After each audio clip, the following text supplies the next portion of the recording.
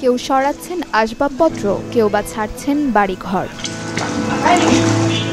রোববার রাতের টানা তিন ঘণ্টা বৃষ্টিতে তলিয়ে গেছে পুরো নড়াইল পৌরসভা।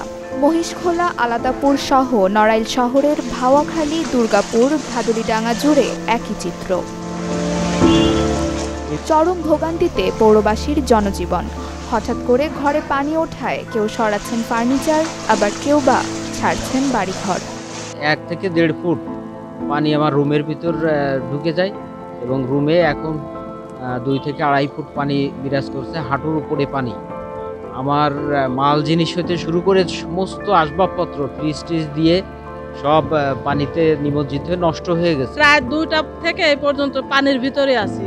সে মালামাল উঠানো, নামানো খাটের মানে প্রতিটা ফার্নিচার পানি অর্ধেক পর্যন্ত ভিজে যাচ্ছে। আমাদের কোনো আশ্রয়ের মানে কোথাও দাঁড়ানোর জায়গা নেই। আমাদের বাসায় পানি উঠছে এখন পানি ঠেকানোর অনেক চেষ্টা করেছি কিন্তু দেখেন পানি ঠেকানোর কোনো লাইন পাইনি এখন বাসার সব মালামাল আমরা এক অন্য স্থানে নিয়ে যাওয়ার চেষ্টা করতেছি। তিন নাম্বার ওয়ার্ডের অবস্থা যদি এই হয় তাহলে আপনি বোঝেন অন্য জায়গার অবস্থা কি। এটা তিন নাম্বার ওয়ার্ড একটা রাস্তাঘাট কিছু ভালো নাই। পানির এই হাল পানি বেরোনোর রাস্তা নাই। এক ড্রেন করে রাখছে পরে সবার পানি এই এলাকায় আসে। বর্তমান খুবই খারাপ অবস্থা যাচ্ছে।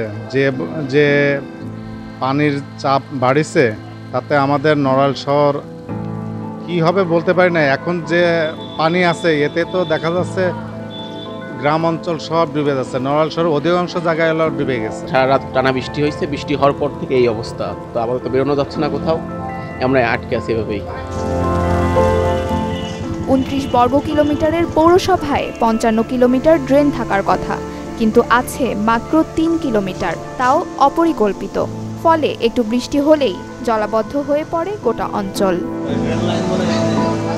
পরিবেশ বিশেষজ্ঞরা বলছেন, নাগরিকের এই দুর্ভোগ আর জলাবদ্ধতা নিরসন করতে পৌর কর্তৃপক্ষের কোনো উদ্যোগই চোখে পড়েনি। শহরের জন্য এটা দীর্ঘ বছর ধরে এই ঘটনাগুলো মানে ঘটে আসছে, দীর্ঘ বছর ধরেই এই ঘটনাগুলো ঘটে আসছে। পুরসভার, আমার কাছে মনে হয় যে অপরিকল্পিতভাবে এই রাস্তাঘাট নির্মাণ এটা অন্যতম একটি কারণ। পাশাপাশি আমরা যারা মালিক রয়েছি, অর্থাৎ যারা ঘর বাড়ি বানাচ্ছি, তাদেরও অসচেতনতার কারণ রয়ে গেছে। আর মুদ্রা কথা হলো কি যে যে কোনো জলাবদ্ধতা নিরসন করতে গেলে একটা মাস্টার প্ল্যানের মধ্যে, শহরের মধ্যে যদি মূল ড্রেনেজ এবং এই পানি নিষ্কাশনের মূল যে উৎস সেইগুলো যদি না তৈরি করা হয়, তাহলেই জলাবদ্ধতা আরও দীর্ঘস্থায়ী হবে এবং আরও আমরা ক্ষতিগ্রস্ত হব। বাড়িঘর আর মূল্যবান সম্পদের ক্ষতিতে দিশেহারা হয়ে পড়েছেন অনেকেই। দ্রুতই এর প্রতিকার চান স্থানীয় বাসিন্দারা।